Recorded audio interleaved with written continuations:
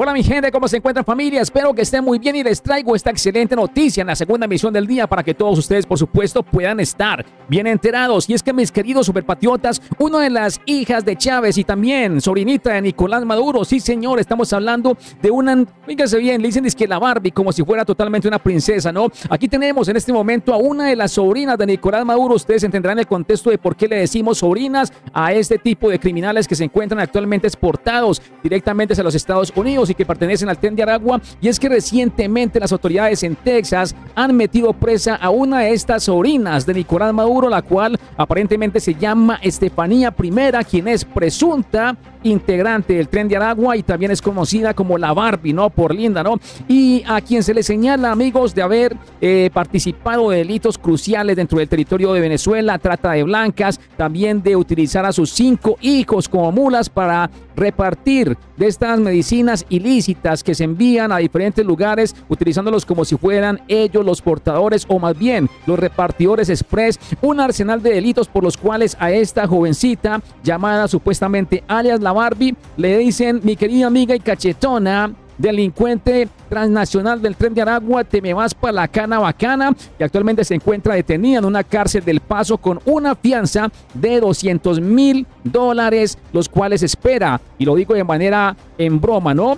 Que Nicolás Maduro le esté girando un chequecito al gobernador Greg Abbott para que pueda soltarla en el territorio del estado de Texas. Mis queridos amigos superpatriotas, la mujer supuestamente lidera las actividades delictivas desde el Hotel Getaway donde fue capturada y el cual fue cerrado recientemente por múltiples denuncias donde esta jovencita y también sobrinita, otra vez vuelvo y lo digo, de Nicolás Maduro realizaba actividades ilegales, además donde hay testigos, hay fuentes del medio, el cual expresa esto a través de un noticiero en Texas, que esta señora estaría utilizando a víctimas de tráfico triple X, las cuales la identificaron. Hay una de ellas que la identificó como la líder del grupo de esta organización criminal, la cual aparentemente introducía ilegalmente a mujeres que luego eran explotadas sexualmente en los Estados Unidos. Y ahora esta persona que ha documentado lo que ha pasado y que la señala como ser la líder de la organización alias La Barbie, una linda angelita de paz, ¿no? Para que ustedes la conozcan ahí, como ustedes la están evidenciando.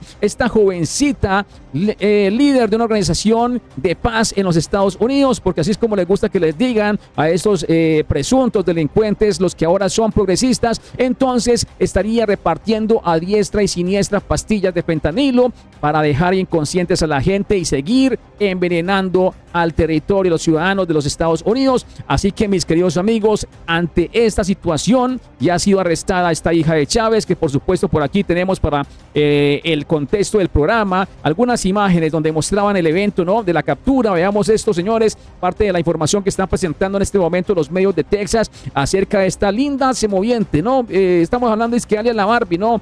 La Barbie, no, la Barbie no sé dónde, la Barbie criolla, ¿será? Porque esta señora y en el hotel donde estaban ahí mostrando la información, dicen que ella tenía un negocio de delincuencia organizada con trata de blancas, con, con alquiler del cuerpo con diferentes mujeres que eran llevadas allí legalmente y luego sometidas a la desgracia de esta sobrina de Nicolás Maduro, mis queridos amigos superpatriotas, información pertinente para todos ustedes en este momento a través del el programa de Víctor Londoño, donde dicen que el arresto se produjo frente a la iglesia del Sagrado Corazón en El Paso, en un refugio para migrantes recién llegados a los Estados Unidos, donde cruzó ella la frontera ilegalmente. Sí, señor, la cruzó ilegalmente en agosto del 2023 junto a sus cinco hijos, su familia y luego de eso la patrulla fronteriza la ha declarado que es un objetivo del tren de Aragua en donde actualmente mis queridos amigos la reconocieron por sus tatuajes, por su modo de vestir, porque también tenía redes en TikTok donde ella presumía ser una gran ciudadana norteamericana, ¿no? Por supuesto que no lo era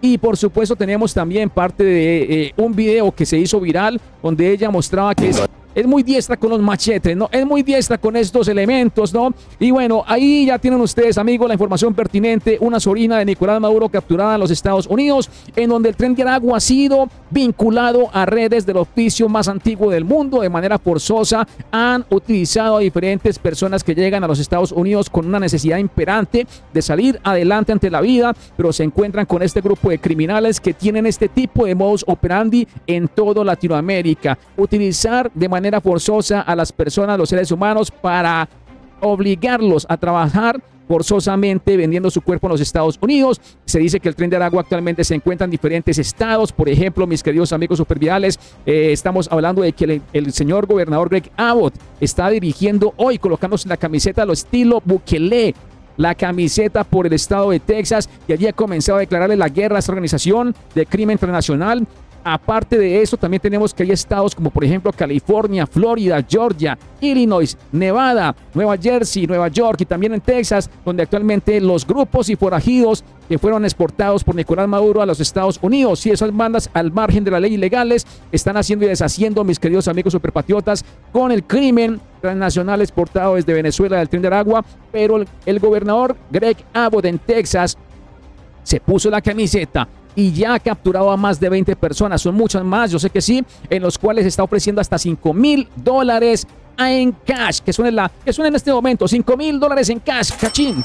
Listo, para quienes brinden información que conduzca a la identificación o captura de los miembros de esta banda peligrosa de crimen internacional, en donde el gobernador Greg Abbott ha destacado específicamente la necesidad de prevenir que esta peligrosa banda amplíe su presencia en Texas y advierte que el Estado tomará medidas contundentes para ir por ellos y ponerlos a chupar cana bacana en la United States. Mis queridos amigos supervirales, ahora pasemos a la siguiente información importante porque también tenemos lo que está ocurriendo y aconteciendo en este momento directamente, mis queridos amigos, en el territorio de Florida ante la inminente llegada del huracán. Sí, el huracán Milton que se encuentra en este momento en categoría 4 y se estima que en horas de la tarde esté llegando, mis queridos amigos superpatriotas, al estado de Florida.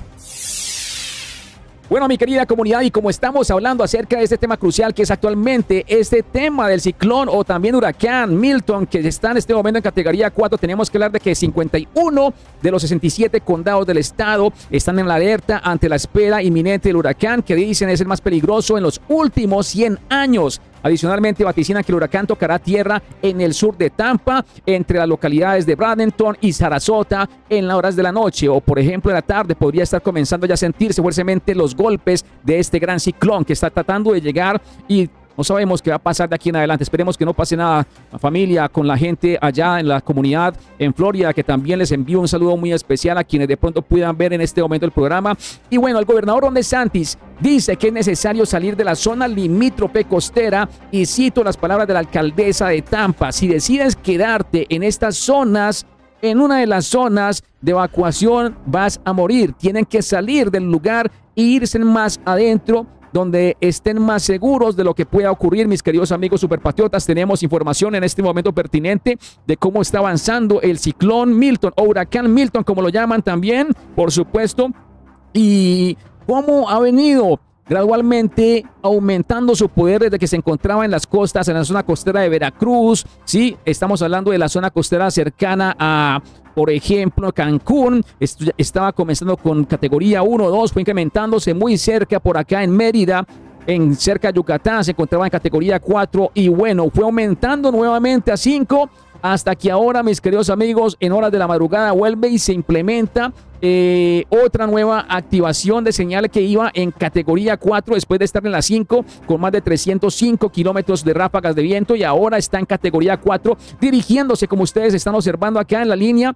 Bien, ahí como lo observan, señores, ahí está la línea donde dice por dónde piensa pasar este huracán que dicen va a pasar por Tampa directamente, mis queridos amigos superviales, y con sus fuertes colas o ráfagas de viento que se pueden implementar incluso en parte de Cuba. Y también podríamos ver, mis queridos amigos, el alcance que podría llegar incluso cerquita, muy cerquita a donde se encuentra Georgia. Bueno, señores, entonces es parte de la información pertinente que tenemos el día de hoy. Se ha conocido, aparte de esto, mis queridos superviales, la información de que más de 5.5 millones de personas están sujetas a evacuación obligatoria en estos condados Florida ante la llegada de esta noche el huracán Milton que está provocando las mayores evacuaciones de la historia en los últimos 100 años. Hay una treintena de condados adicionalmente que comprenden una zona densamente poblada entre Orlando, Tampa, Sarasota, en Fort Myers, que han emitido órdenes de evacuación obligatorias, que en una gran parte ha cumplido con la petición de las autoridades, pero otros se han resistido y en medio también de su rebeldía, tal vez de pronto dicen, no, eh, no va a pasar nada. Tenemos imágenes para que ustedes vean acá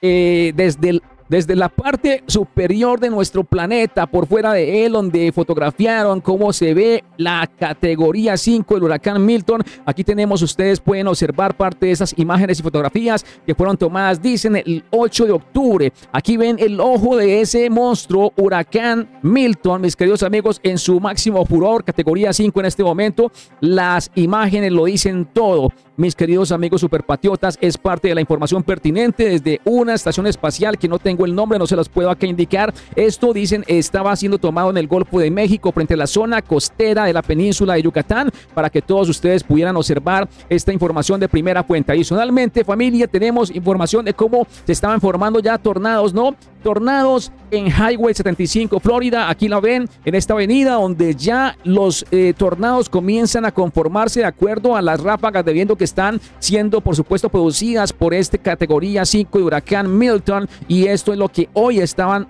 documentando en horas de la mañana. Y tenemos también, mis queridos amigos superpatriotas, otra imagen adicional en Fort Lauderdale, donde también se conforman estos que se llaman tornados, ¿no? Ahí los están viendo, señores, unas ráfagas de viento que conforman a esos tornados en Fort Lauderdale para que ustedes tengan información pertinente de horas de la mañana. Así que la mayor, la mayor energía positiva ante este evento y que no pase nada de una desgracia mayor, porque sabemos que con Helen hay más reportes de personas que se suman a la lista de los que son víctimas del anterior huracán, que son más de 215. Y bueno, ustedes vieron cómo también de pronto por ahí en las redes sociales mostraban grandes desastres. Ante esta información pertinente, ánimo y para adelante, mis queridos amigos. En las horas de la tarde estaremos, por supuesto, muy atentos para seguir transmitiendo más información acerca de estos últimos acontecimientos. Amigos, duro golpe contra los sobrinos de Nicolás Maduro. Esta semana documentamos más de 20 detenciones y ahorita se suma la otra nueva cachetona. Amiga de la revolución chavista, quien es la Barbie, ¿sí? Esta señora Estefanía Primera a chupar canabacana en los Estados Unidos de Norteamérica. Hasta pronto, mis queridos super virales. Dios los bendiga.